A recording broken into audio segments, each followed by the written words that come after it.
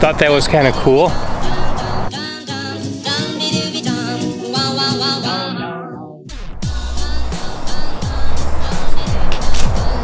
was not a Cadillac in my house.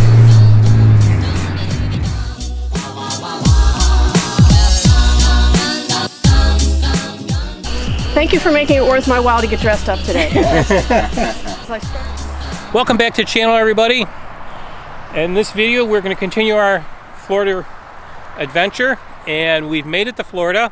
We are outside of Tallahassee and we'll tell you more about that after the beginning clip rolls.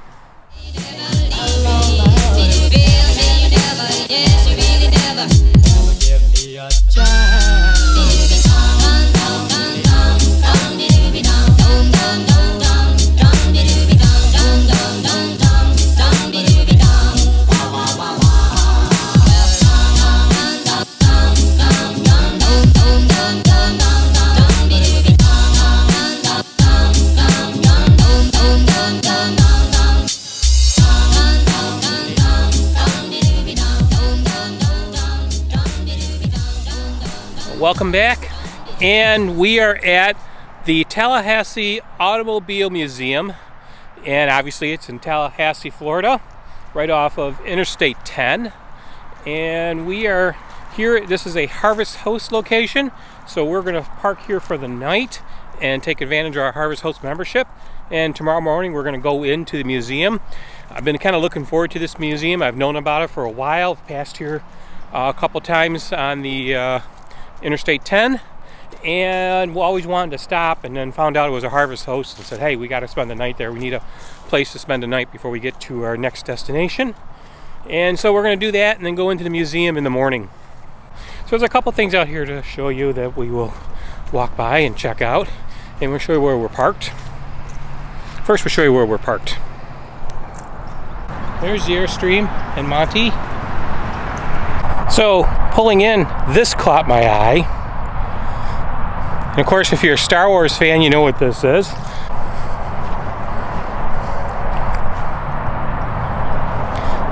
Thought that was kind of cool. Wonder if Lord Vader is here himself. If not, we'll have to check that out. So, this was a different place to stay. Yep. It was nice last night, although we did hear some of the traffic. Yeah, there are parking areas by the road, but not as bad as uh, some places. So.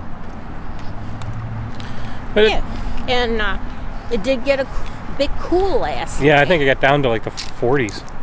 So we turned on the furnace and it warmed up the trailer very nice. Yeah, we're still having some issues with the water systems. Um, we got the water pump working, but we're having trouble with hot water. We think maybe we got a blocked hot water line that's not allowing the hot water to flow into the um, shower and such. So we're not getting cold. We're getting cold showers. Not what we Needless want. to say, we didn't take one today. No, we took one yesterday. It was cold. Today we skipped. Right. Um, worst cases, we'll be at a campground with showers and such. We can do that, but hopefully we can get it fixed once we get there too. Right. I hope so. Yeah, me too. But Right now we're headed. this is the Tallahassee Automotive Museum. Um, supposedly 160 cars on display here, and it's uh, I guess it was a non-profit, but it started as a private collection, and I guess it's still somewhat of a private collection, but uh, supposed to be fairly highly rated. And it was a harvest host, so we were able to spend the night here, which was good. And we're going to go in and do our part of, of uh, partaking in the uh, host's activities and enjoy the uh, museum.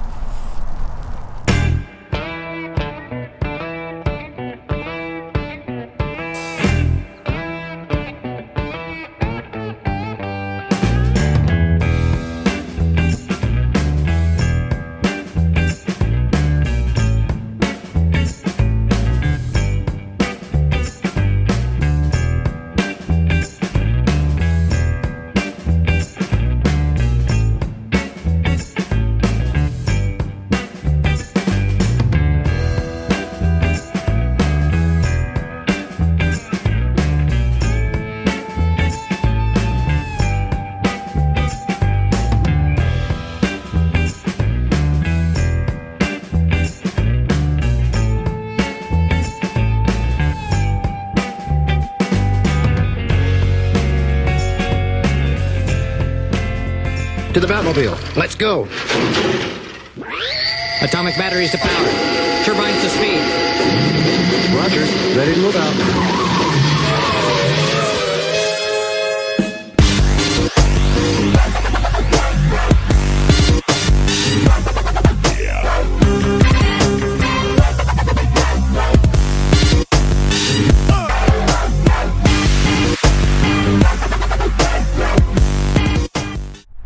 So, what'd you think of the Tallahassee Automobile Museum? Oh my God, I couldn't believe all the different stuff they have cars, um, boats, they have Batmobiles, Yeah. a lot of motorcycles, Elvis stuff, Elvis dolls, stuff. Yep. toy cars, Oh movie cars. Uh huh. This is when collecting takes over your life. Right, right. I mean, there was a lot of everything. Yeah, but it was neat to walk through it. It was. Yeah. It was a lot of fun to see. I always like to look at the antique cars. Right, and it's fifteen dollars per person, so it's reasonable. It And- is. Yep. So yeah, we really enjoyed it. Yeah, and it was a harvest house, so we spent the night here, so it was convenient, easy for us to swing in here in the morning and, and see it. Mm-hmm. Well, we've walked through the museum, and now we're off to our next place we're gonna stay. It's Torrey something. I think it's Torrey something State Park. It's in the Apicalocha Forest. I'm saying these things all wrong. I absolutely know I am. um, we'll figure this out. Good thing it's in the GPS. Appalachian. No, epi- it's cola, cola, epicalola, or something. But anyways, we've got. I think we got to stop at at least uh, Home Depot before we get there, so we can figure out some things and make sure we can get the water working. Um, I don't know. You need to stop at a grocery store. Uh, yeah, we could. Okay. So we got to make a couple stops on our way, and then we're make our way over to the state park where we're going to spend the next few days. I think it looks like uh, not a lot of touristy stuff in that area, but some hiking and such. Maybe we, we get some decent weather. We can take some hikes with the dogs and such. Um, we're there for let's see, we're there until Monday. And today is Tuesday, so we're there for six nights.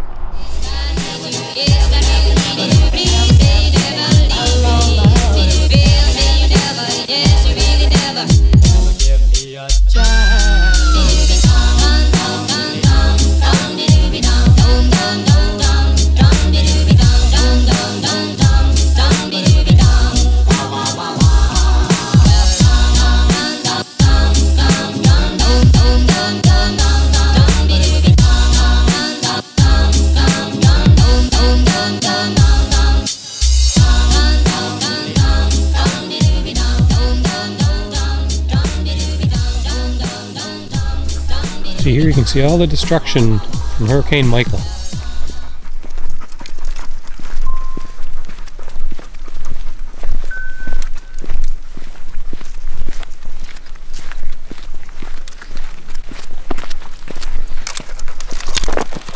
And there's Hurricane Monty. Monty, are you a hurricane? Yeah, he says I just blew into town. Yeah. We're at Torreya State Park in the Florida Panhandle, about an hour's west of Tallahassee. Oh, yeah, about an hour west of Tallahassee on Route 10. And this is the area that Hurricane Michael came through and hit. And so you can see a lot of the destruction in the forest around here, a lot of trees down, broken trees and such. It's pretty sad to see all these broken trees and, uh, you know, they've cleared away some of it, but still a lot of damage. Right now we were on a walk with Monty and Zephyr, and they're behaving pretty well. Yep. Except Monty just stopped. What'd you stop for, buddy? Says, I need to smell. Does he Yeah. need to go to the bathroom again? Sometimes. Sometimes I don't think so this time. Zephyr's just walking along, just minding her own business. She's Yeah. not a very inquisitive dog, unlike Monty. Right. So the park we're staying at is a it's a state park, a state campground, Right. Florida State Park. Florida State Park. Yep. It's it's a nice little park. It's kind of small, not that many campsites, Yeah, there's like maybe 25 or so. if that. Yeah. And there's a couple of yurts. Tell Wait. them what a yurt is. So a yurt is like a round tent um, that's on a platform, and you can rent them. So they're kind of like cabins, but they're really they're tent material. Right, they have one, and it looks like they're building another one. Yep. We have water and electric, which is good because at times we need to run the furnace. It gets a little chilly. Yeah, still pretty cool. It's you know January first. Happy New Year. Happy New Year, everybody. Yeah. So it's still a little cool, and we need to run the furnace, and we're still having some water issues. We're trying to see if we can get them fixed. Um. So we can have some hot water. Yeah, right now we don't really have hot water working, and we need to get that uh, resolved. Hopefully, we will tonight. They do have showers here in the campground, so one of us isn't stinky. That would be me. I finally had to break down and take a shower. it felt so good to have some hot water. True. So we are here until Sunday. Um, but we got we're to show you around here. We're going to get the bikes out and probably tomorrow I'll go for a bike ride. Yeah, it's supposed to be warmer tomorrow. Today was only in the 60s, but the sun was out, what made you feel better. True. True. All right. So we'll go on a little tour of the campground. Right. So this is the bypass valve for our water heater that seems to be causing the problems. I've got it soaking in the CLR compound, which is supposed to remove calcium and lime, which I think is the problem.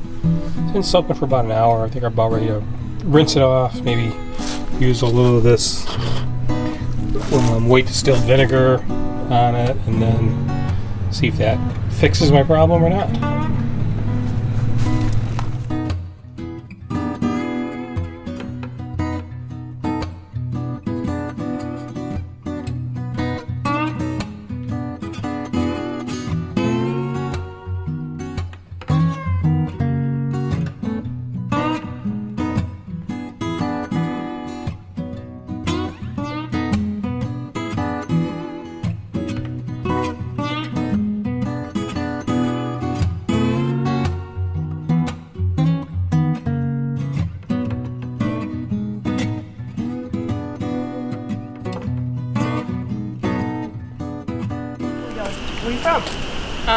Rochester, New York.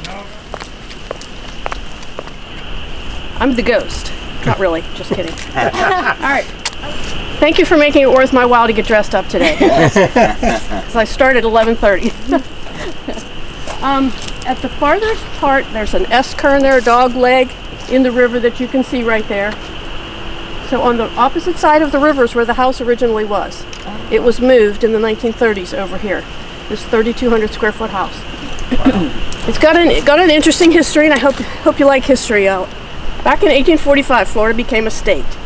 So Jason Gregory, who built this house, and his father, also named Jason Gregory, had come down from North Carolina. They lived in Quincy for a while, which is not too far away.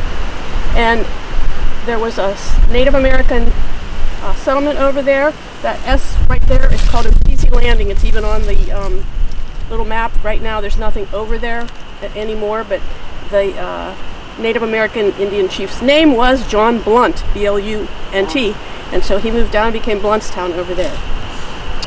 So, uh, Jason Gregory came down. He wanted to have a plantation. He was about 34 years old, already had a family and a few children. Ultimately, they would have somewhere between 11 and 14 children, but only three survived to adulthood. So he comes down, he buys about 3,600 acres ultimately. He picks out a spot over there on Ocheesee Landing, and the reason he bought, he chose that particular site was there were two live oak trees, one on either side, and at the time the dimension of the trunk was 18 feet. Oh, one of them still is over there, and the trunk is now 28 feet, and they estimate that would make it four to 500 years old. That tree. Oh my goodness. So I'll show you a picture when we go in the house. So he decides to build his house over there and and does so. He ends up with about 42 slaves. They raise tobacco, cotton, and corn and also vegetables for the family on the house. So it's the 1850s. Your steamboats are going up and down the river. There are about 30 regular steamboats that went up and down this route. And that was how everything happened. You bought your supplies there. He ordered the things for his house. First thing he bought was uh, 15,000 bricks. He wanted to put the house up on a five foot high, I'm five foot, five foot high, stilts to keep it from the floods. So he built his house over there. Things go very well for the Jason family during the 1850s. He becomes a very prosperous man. We're lucky in that there was a young doctor who came down, bought a practice from a retiring doctor, and he lived up in the house here, rented a room for two or three years. But he kept a journal, a daily journal, and he wrote in it lots of interesting things about all the neighbors, about Jason Gregory and his family, what went on, and the things that he saw. It's just so much insight that you would never have from like a census record. So we know from uh, Dr. Hentz, Charles Hentz, that Jason Gregory was very innovative, very forward thinking. They said he was just a little dynamo. He was five foot one. He always was everywhere on the property. Said he always had his uh, pant legs tucked in his dirty boots. So he built a pier down there. He built actually almost like a Greyhound bus station. All the governors, people from up here at the in the political scene, the suppliers, wealthy people, people coming down for more land and things, they would all come down and stop off. There was a steamboat stop right at his house over there at Ocheesee Landing. So he, he built a cotton gin, a mill, wood mill, a, uh warehouse, a distribution center. He just kept thinking of more things to add that would make his um, plantation more more prosperous. They had all his slave cabins down along the river. So again, till the end of the war, he, he did very, very well. Now, at the end of the war, we all know what happened. Um, Confederate money was worthless, and uh, at the end of the war, the slaves had become tenant farmers. He could not afford to pay them for the for any crops that would have been available at that time. So basically, he lost the house and all his property over there for the sum of $200. He could not come up with $200 cash to pay his taxes, so he lost the house and moved his family over to Gainesville for a while. Started trying to make a, a living over there. they had another round of uh, yellow fever. Some more family members died. Was a hard, hard life. So after that, uh, he had one, one of his two daughters who survived to adulthood. He had named, I have to say this slowly, Atchafalaya. Chafalaya is like Apalachicola. It's a it's a Choctaw name. He had gone to New Orleans and seen a, a river and a street sign that was named that. He thought that was a beautiful word that just flowed off, off your lips. It means it's Choctaw for Long River. So he came home, and um, his wife presents him with a beautiful baby girl, and he's his mother. We're naming her Atchafalaya. and I'm sure his wife probably turned her back, rolled her eyes, and went, Yes, dear. so she was known throughout her life as Miss Chaffa. And Miss Chaffa grew up, became successful, had a beau here named John Grace when she was 15. Her parents didn't really like him. They thought he gambled a little bit too much. So they weren't really, um, you know, putting that out there as a, as a permanent relationship. But the Civil War comes along and John Grace leaves. He goes and joins up with the Confederate Army. He fights for them. And he's gone. He goes to Texas. So she gets moved to Gainesville. She never marries, but she did become a successful school teacher. She's able to save up some money. And I think for about $1,500, she's able to buy the house back and some of the land. So she wants to go back to her roots, you know, and she moves back over to uh, Cheesy Landing in the 18, early 1890s. Lo and behold, who shows up? John Grace.